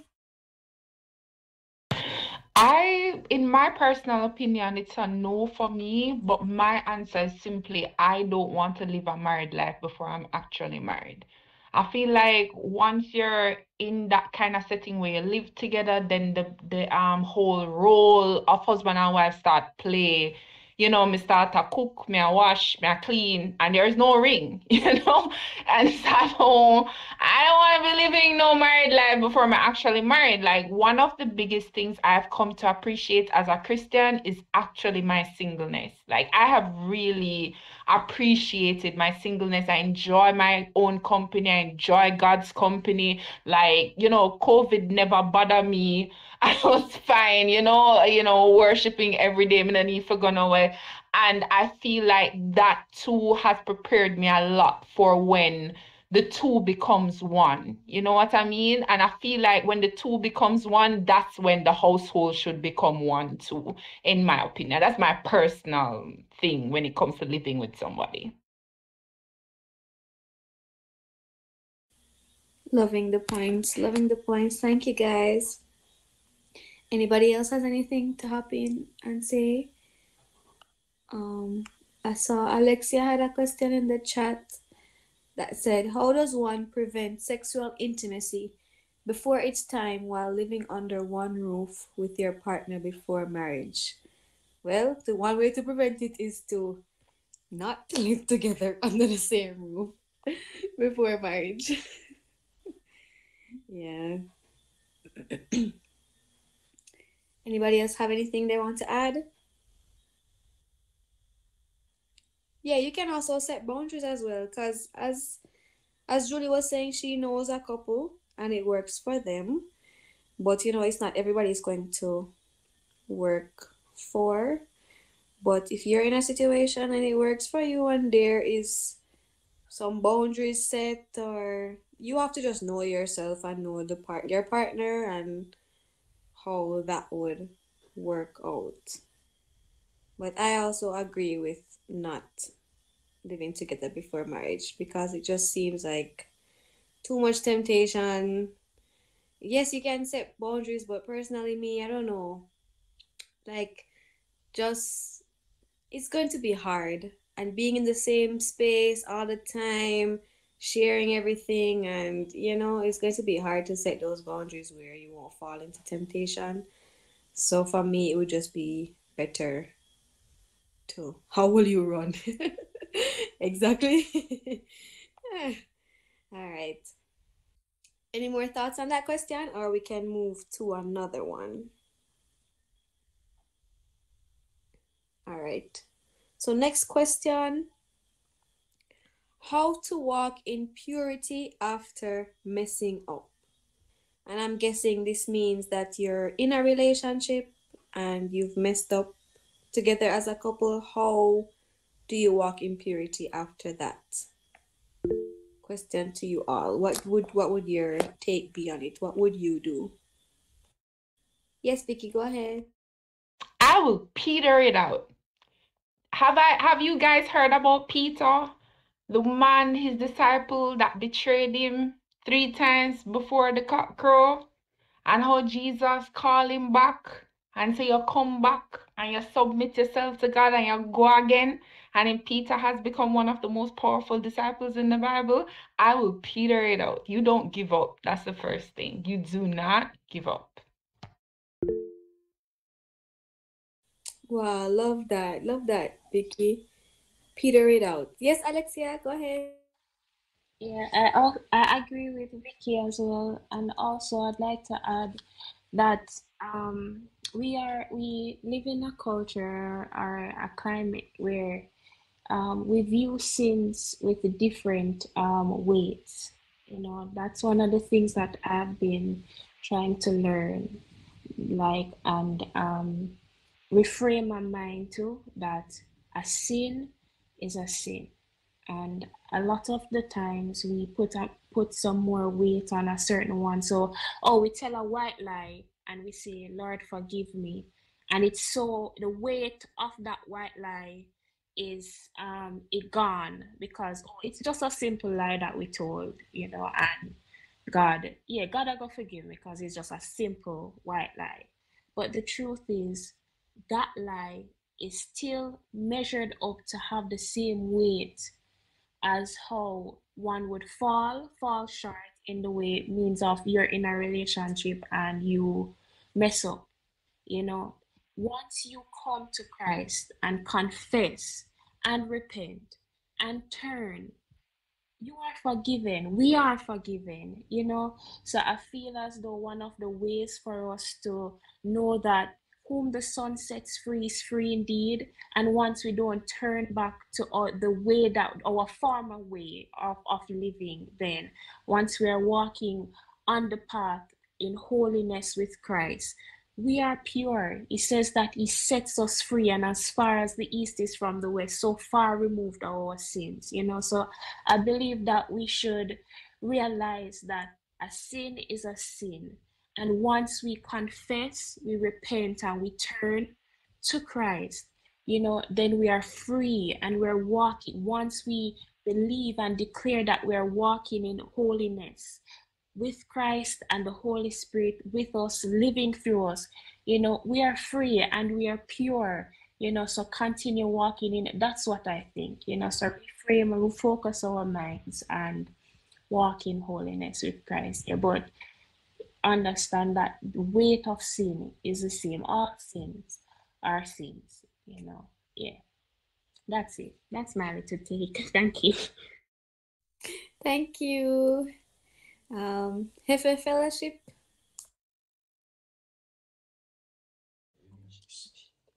All right, how does a couple walk in purity after messing up? I think they should um, acknowledge what led them to messing up and try to avoid that um, particular setup. Because if you know that meeting this person at their in their bedroom always causes you to to you know do things. Try to avoid meeting up in the bedroom. Try to say you know what? Let's meet in the park or let's meet in more public areas that we can you know not be tempted to do that so whatever it is, just try to avoid the steps, the previous steps that will lead to that. Mm, yeah. Shaquille also wanted to say something, so I will move so you can. An individual. How does a couple move forward after missing mm, up? No, I hear a couple. Oh. You can say for each person. Hello, good morning. Good night. Good evening. All right, so I think personally, um, after you um messed up, just repent. You know, a lot of times after we repented, you know, um, there'll um be a weight on our shoulders that you know, what if God doesn't forgive me for this and like you know, well, I think that we should just repent with a sincere heart and don't think too much of it because you know you're forgiven and all of us are justified through Jesus Christ, you know. So that's my take. Amen. Amen. Alright, good. Amen. Thank you guys for sharing. Brandon?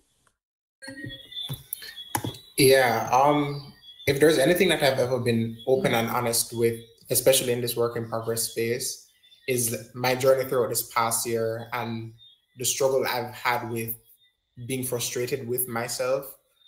You know, a lot of times in Christian spaces, we talk about this principle of recognizing that God forgives us. But for the Christian young person who purposed in their heart that this is not something that they would ever entertain and then find themselves in that position, the forgiveness from God isn't really the challenging part. It's a forgiveness of self. You know, sometimes we hold these things so near and dear. And as Alexia said, you know, even though God views sin as sin, for us as young Christians, sometimes we treasure things that we say we're not going to do, and we find ourselves in those spaces. And I can speak from personal experience in saying that forgiving yourself when you've crossed lines that you say you never were going to cross, it's hard and it hurts. And that season of rediscovering yourself and trying to figure out where that fits in God's idea of you isn't easy. So, you know, sometimes we'll just say, all right, yeah, repent. And, you know, but for the person who's going through it, it's not that easy. It's not as simple as, yeah, man, I repent and we keep on walking. And so, for the persons who have ever found themselves in that situation, you aren't alone. It's not a unique situation to you. Take your time with God because in that period, it's not just the idea of forgiveness, but rediscovering what your identity is like. I saw someone drop in the in the chat there the idea of identity. It was Julie who dropped it. That season isn't something that you can rush. Sometimes we try to beat it into place and and, and get back to that point without healing the wounds that we've caused to ourselves by virtue of the mistakes that we've made. So the person that has fallen in that space, take time with God to rediscover who you are and remember that that identity has not fundamentally changed because that identity is dependent on one who does not change. And I think the more and more we learn to rediscover God in that space, is the more we can heal ourselves in the midst of the mistakes that we've made. Yeah. Love that. Love that. Thanks, Brandon. And thanks everybody who shared on that question. Anybody else had anything they wanted to add or ask about that? Or say about that? All right. We're going to move on to the next question. We're only we're going to do two more questions. Um so the next one is is it okay for females to pursue males? All right. So, question again: Is it okay for females to pursue males? Why Brandon I laugh so? Oh, what happened? Julie is Yes. laughing because we had this discussion last Yes, week. Go ye and find. No, And uh, for you. yes, so um, we would like to share that. Shannon, Shannon would like to share. Do you think it? I don't think anything is wrong if like you see a guy and you say you want to pursue him. Like Oh, you tell I him a that you like him or whatever, whatever. I'm not hearing you, Shannon. I don't think anything is wrong with pursuing someone. So if you like a guy and you see him and you want to talk to him or whatever, I don't think anything is wrong with that. Okay. All right. So, uh, well, the verses that our I what I was going to make reference to, it's really based on marriage, but I can probably use it in this case. Um, the Bible says, "Leave the husband should leave his mother and his father, right? And cleave too. Does cleave mean does it mean everything? Does it mean to seek out or to know, as the Bible loves to use that word, or to love his wife? What does that mean? Does it mean that he should pursue his wife? And it also says the husband should love his wife as Christ loves the church. Why is it always initi- saying that the husband should always initiate? He should always, you know, just ensure that this is happening. We are in a relationship, and I am. I don't know. I just can't find the N words. but um, you know, the husband is the head, girl. So let him lead.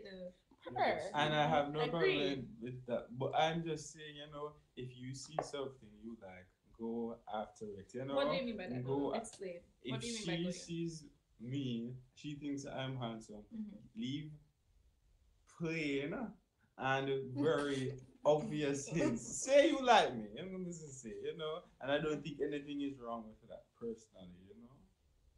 Be brave, ladies. Yeah, leave plain and obvious. He will embarrass you. well, I think, I think that's the thing. That's the thing, you know. Um, a lot of women come like Nisi, yes, call it Nisi name. But yeah, it's it's the it's the fact that um the person could embarrass you and it's hard and it's painful. I, I don't deny that. But it's the same thing as a man, the woman might deny me and I will be hurt and embarrassed and That's as much as a feel away. We're emotional people. Yeah. We But are we- emotional. But, uh, very. And don't one think- thing I've been pointing out to the men can we have emotions as well. It's just it's just it's just society has told us that we have to be emotional as Exactly. So we should not we should not put out like you know we have to be bam bam bam when honestly in our hearts we feel away we feel sad we shed tears we It's- have a boom boom a heart as well It's psychological. It's scientifically proven that women are more emotional than men. Please because go the, for your- the hormone testosterone. I'm sure testosterone it makes you angry. Oh, It what? makes please don't quote her no, testosterone does something to you. Like it gives you a kind of logic mentality more than emotional. No. I think it does something like that. yeah. no Men overall, I think female hormones are the reason why we're so loving.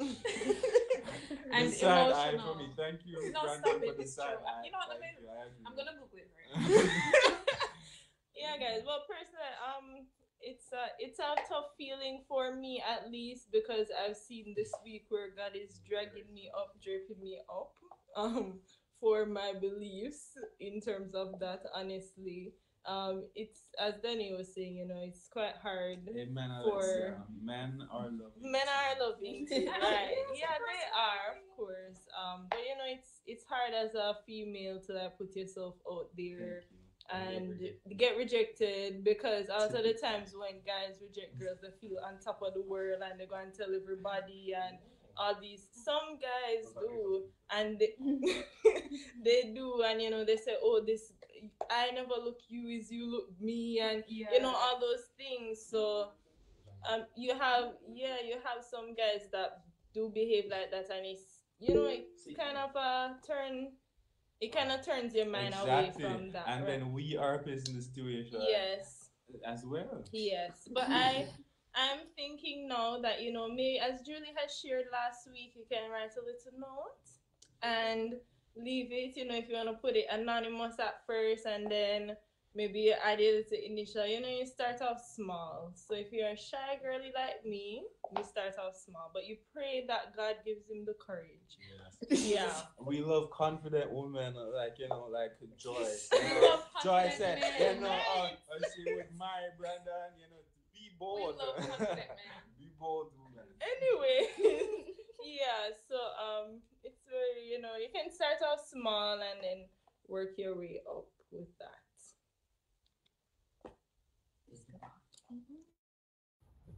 All right, guys. Thanks for sharing. Um, there is a difference between pursuing someone and making your interest known. Because I feel it for the men out there, and I feel like I'm going to be draping up a lot of people right now. But I feel it's for the men out there who don't know that someone is interested in them, but the female claim that they make it known. But they didn't really make it known, you know, like us as females, we also have a role to play for making a relationship happen, right?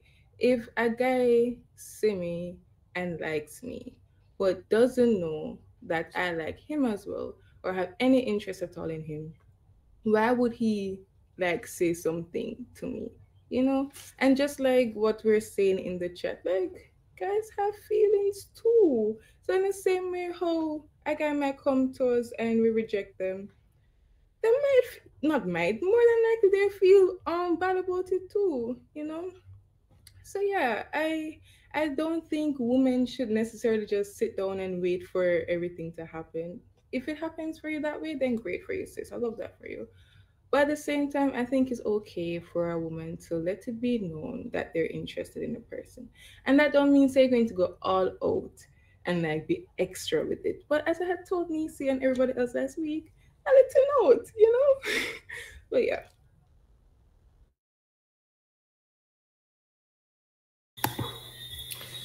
I find it so interesting how y'all think. You know, it's I think to our Bible story, right? And because we've had this conversation before when we were discussing um, the book of Ruth around chapter three, and we were saying that Ruth put herself in a position to be found by Boaz. You know, as far as Boaz was concerned, he never hear about nobody named Ruth yet. Ruth came was coming from way way with Naomi, but she put herself in a position to be found, and we know how that story ended was it the case that um, Ruth was running after Boaz? Absolutely not. But she made her presence known. And I find it kind of cute, like how everybody's thinking, oh, you write a little, it's it's giving preschool, you know, you like write a little letter and like, I like you. Amen. Like, I'm thinking does it really world work like that? I don't know. Um, but it could simply be as simple as getting to know somebody, becoming friends, hanging out in the same friend group. I mean, the idea of writing a letter and being like, "You I like you," and I feel like that may be a bit too abrupt for some people, but doing what Ruth did, making her presence known, operating within similar spaces, so that you know the person who you're interested in gets your or you get their attention, or vice versa. I don't know which word, but yeah, um, it doesn't and I'd also like to say there isn't a a blueprint that works for everybody. Different people have different personality types. Different people approach things differently. So not because something works for Julie or not because something works for Noel means that it will also work for me. And you know, everybody always talks about this idea of praying in relationships when you get to that relationship stage. But Jesus wants to hear all your prayers. It could simply be, Lord, how do you want me to approach this person? Is this somebody you even want me to approach? How do I go about doing that? And you'll be surprised how God can answer those simple questions if we put them to Him. Yeah. after Nisi. Yeah. So I just wanted to share to like making a impression. I firmly believe in that, but guys are so oblivious. Like like a lot of guys, like you know, you'll be there and you know, talking to them every day.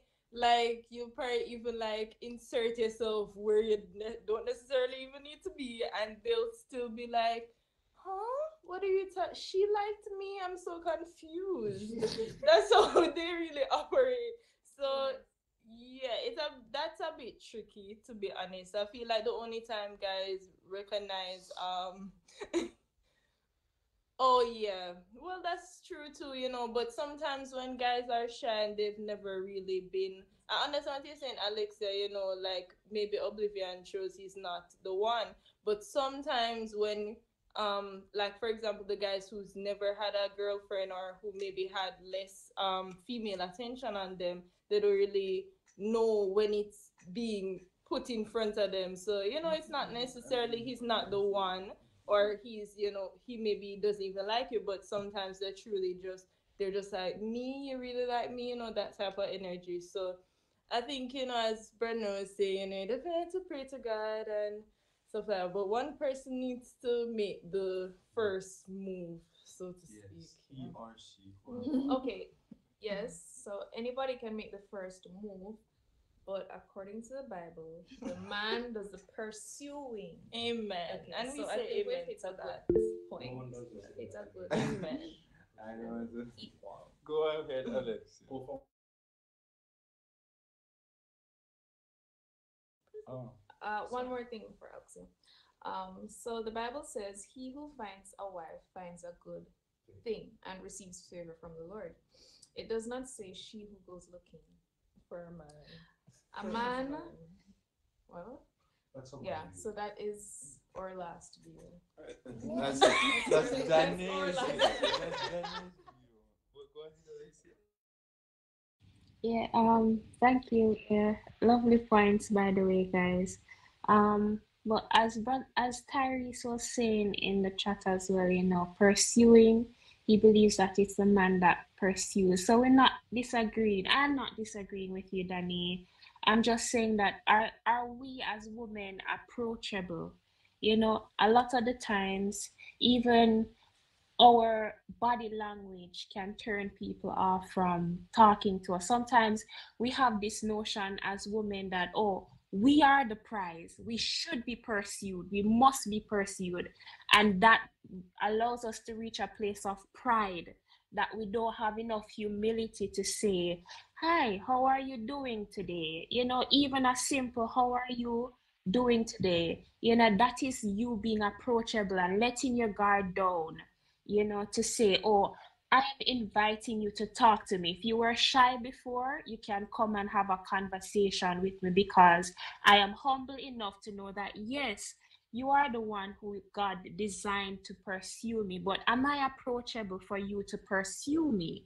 You know, so that's I, I that's why that's what my view is. So I'm not disagreeing with you, Danny, that you are the prize, beautiful woman, you are the prize. But men are the prize too, and they're deserving of allowing us, we letting our guard Amen. down for them to know that, you know, you can come and talk to me. I won't embarrass you. I won't discard you. I won't talk to you any type of way. You know, I am approachable. Come and speak to me. Let us have a conversation. So I believe it's a two-way street, you know, so pursuit of the approachable. I believe it is. Yeah, so yeah,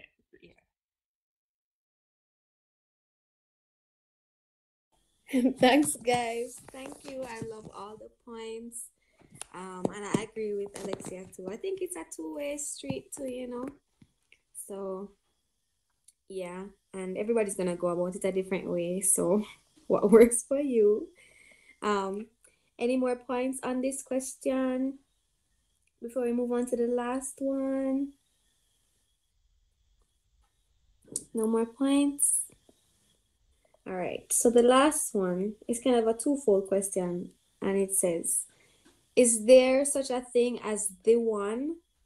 And uh, how do we know when they are the one? So is there such thing as the one? And how do we know when they are the one? Go ahead. All right. So we had a book about this, and you know, Julie was here when we were speaking about it. Um, the same book, guys, and he was basically telling us like how that even like came into a be into a saying like, oh, finding the one, finding your other half. It's soulmate, right? So it's actually from um Greek mythology, like Plato and all those people, like they had um he had a theory that people were together um and they were like gods or whatever and they were split in half by other gods so that they wouldn't become too powerful and that's really where like the whole your other half or um the one. for you is stemmed from. So um the pastor was saying that like we as modern christians we now have taken on that some form of it and saying oh i'm gonna find the one for me. And you know people like to quote to the story of rebecca and isaac and saying that um she was for him and she she went to the well and you know the servant prayed to god and that was the person that he was supposed to marry. Yes that was the person that he was supposed to marry because he had certain guidelines he had to follow. It had to be someone that was with the um of his of his nationality so to speak. It had to be someone who believed in um the same God, it had to have those criteria because he was supposed to carry on that lineage um for the promise of Abraham. So yes, God had a specific person for him, but we've even seen um in cases in the Bible too where people we know that are together after their spouse dies, they marry another person, they're still as equally happy. Like it's not necessary that there's this one person for you. Because think about it, guys. People make decisions in life. People end up choosing the wrong pathway. They lead to drugs. They overdose. They die. It, they meet in a car accident. They die. Like if you really just had Ruth and Boaz, yeah. Ruth and Boaz, right? Ruth and Ruth and Boaz were, um, you know, set by God to be together. Why? Because Jesus came from that genealogy. So these people were called to be be together so that a purpose would be fulfilled. No, it's not saying that oh you might not God might not have a one set person for you because maybe He has a purpose for and yes, Boaz was her second marriage. Look at that. So it's not even the fact that um you know you can you're saying oh maybe God doesn't have a person for you. Maybe He does. Maybe you're called to ministry worship and that person will help you fulfill that role and that calling upon your life. But apart from that though, you also need to pray about the fact that hey, you're gonna have suitors mm-hmm. and you're praying for your your suitors. This is how I approach it. I pray for my suitors, you know, the people that I'll be minimizing in the dating pool and saying I'm getting to know them. I pray for certain characteristics in them and then I ask God that He helps me to choose the best person for me. Because that person might be, you know, and all the other people might be great, but are they the best person for me? God knows the different things that will happen in my life the different situations that I'll experience. Maybe I'll have a maybe I'll lose my job. I want somebody who is okay, you know, carrying that burden for a little while. Maybe and God forbid I'll become sick. I need somebody that has that caringness in them, you know, that can't does have a problem being a nurse and all those things. Like so God knows the trajectory of our life. So we just have to pray that He helps us to make the best decision based on all the right people that he has allowed us to be around but not everyone has a oh you have to marry this person so uh, that's basically what i got from reading the book and i think that it is a biblical approach to it too so anyone else can just share their point anyone here? Okay.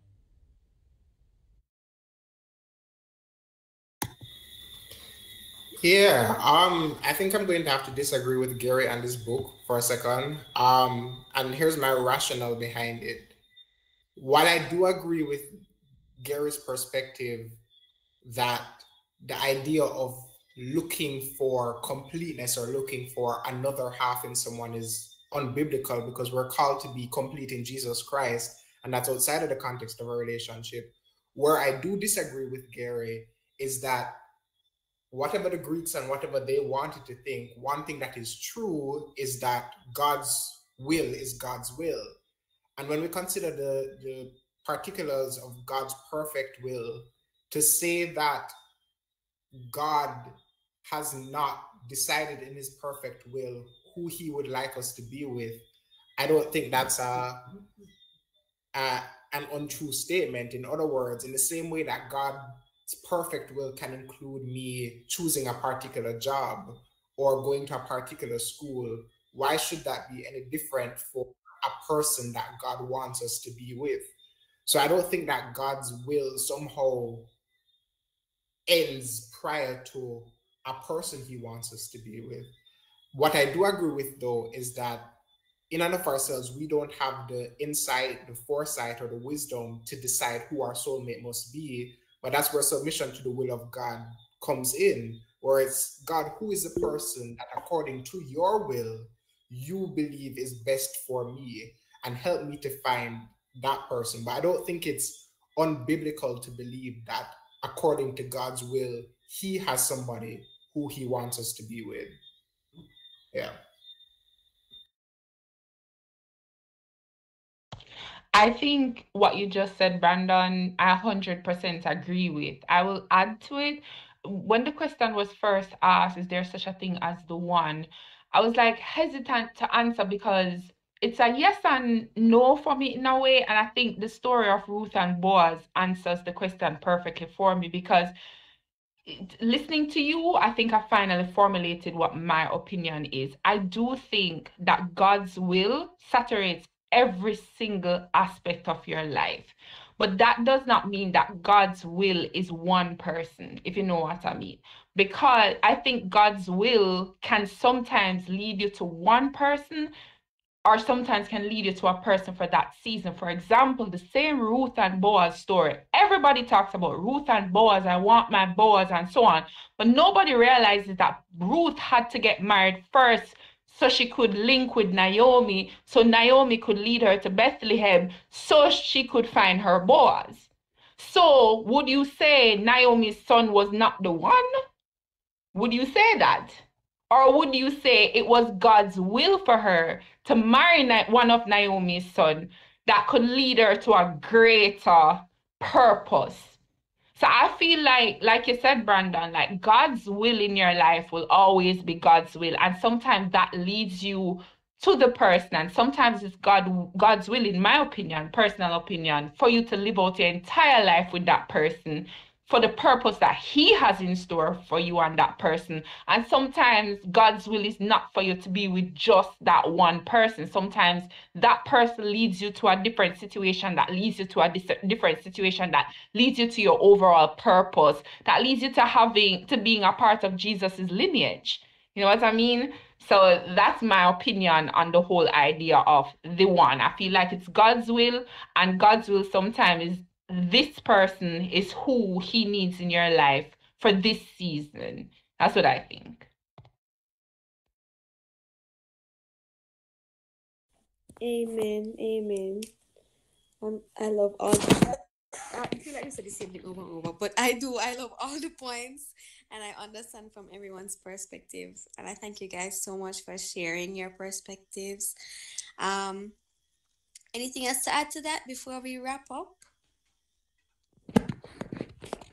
Even from the other questions, or if you had any other questions you wanted to ask, well, or before we wrap up, no other comments. Sure, go ahead, Brandon. Yeah, it's a question that I know lends itself to kind of being a tangent, but I just wanted to raise it for the sake of conversation. You know, it's every young person's, every Christian young person that I've spoken to, you know, longs for this idea of marriage and, you know, being with someone and and all of that lovely stuff. I, for one, aspire to that. But then something that I don't think is equally as discussed is those of us who God is calling to a life of singleness and ministry, you know, the kind of Paul kind of life. And for some, that's scary. That's scary ter- territory. But then when we talk about this idea of being submitted to the will of God, then that submission has to be a willingness to me. And even if God is calling me to a life of singleness, I'm willing to accept that. And that's a scary type of submission to me because all my life in my mind, I've been like, this is something that I long for. This is a desire of my heart. But then how submitted are we to the will of God that if God say, yo, I want you to pull a Paul, we're willing to do that.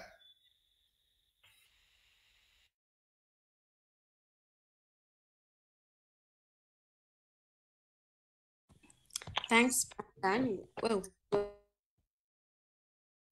And that is why one of my favorite absolute Bible verse in the world is I can do all things through Christ who strengthens me. Not the way people talk about that Bible verse, but the way it comes down from the few verses up. It is the idea that even if God's will is for me to live in poverty, I can be content. Even if God's will is for me to live in richness or abundance, I can be content because I can do all things through Christ who strengthens me. It's the idea of being so so submitted to God's will. And yes, it's hard. Nobody wants to suffer. Nobody wants to sleep on floor. Nobody want in a prison like Peter and Paul. Nobody. But it's the idea of being so submitted to God that you're able to find content in in in that. And just like you, Brandon, that idea scares me so much. The idea of not fulfilling um even not having children, not being married, all of that. Like that is a desire of my heart, you know. But having become a Christian, it's it's not easy. I can say it's not easy, but it it's a prayer that I continue to submit. Like Lord, I pray that this is your will for my life. But Jesus gets said with the assembly, eh, the word, the, the place, the prayer is take this cup from me, but at the end of the day, let your will be done. So in, in a easy, but that is my daily prayer. Amen. Amen. Thanks, Vicky, for that. Thanks, Brandon, for that as well. Amen. All right, guys. Well, it seems like we're at the end now. Um, what a wonderful Bible study. So many questions, so many thoughts. Um, I loved hearing from each and every one. Thanks everybody for sharing. I know this will leave a lot of us pondering things in our hearts. I just pray that we just pray to God and ask Him what direction we should go in according to His will. Um, so thanks again, everyone, for coming out, and thanks so much for sharing. Thanks for being here. Um, now we will close as we normally do, which is um, asking for some volunteers to pray and to sing a prayer chorus. So we would need one person to sing a prayer chorus for us and just one person to pray on this prayer request list for us. Yes, Hefe? Hefe? Fellowship? Are you guys volunteering to do something? Yeah, we will. We'll sing the, the prayer chorus. Okay, all right. So just one person to pray over these prayer requests for us, please. One volunteer.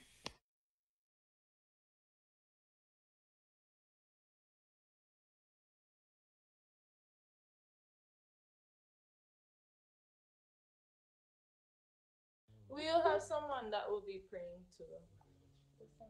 Wow, thank you, Hefe Fellowship. All right, whenever you guys are. Who should we pray for?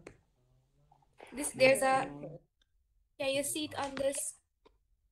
There is. Yeah. Yes. The prayer request. Okay, so you can. All right. Whenever you get. That's the prayer request over there. Okay, so we'll sing the prayer chorus and then Chucky will. It's oh, the prayer request has come off. We don't see it anymore. Resharing it. There was another. There was a change to it, so I'm just going to reshare it shortly. It's going to be up so soon. Brandon is just um doing. It'll be there, so you guys. You can um, speak in the meantime. Yeah, sing in the meantime, and it'll be up by the time you guys are ready. Only you are worthy. Only you are worthy. Only you are worthy. Only you are wonderful. For there's no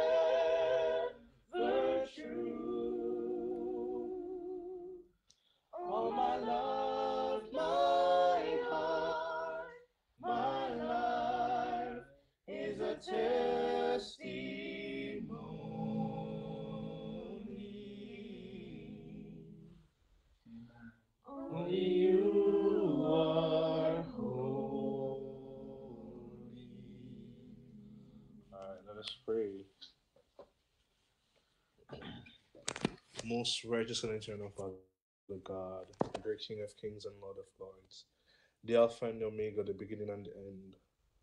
Oh, great God, as we come to you this morning, mighty God, and this night for some of us, we just want to acknowledge you, mighty God.